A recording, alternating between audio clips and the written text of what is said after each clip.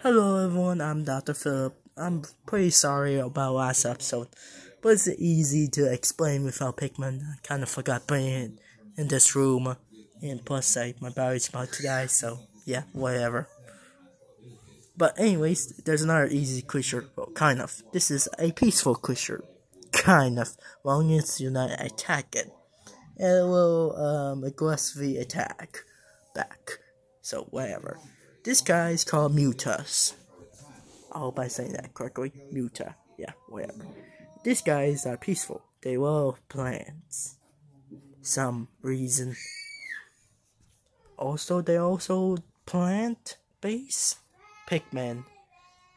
Yeah. They're peaceful.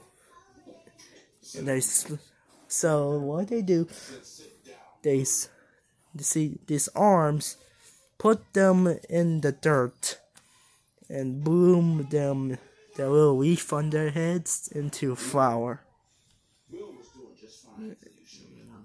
That's basically what this guy can do. Basically that. Pretty nice thing, you know. Make the Pikmin more quicker. You know. But yeah, this guy is peaceful. So yeah.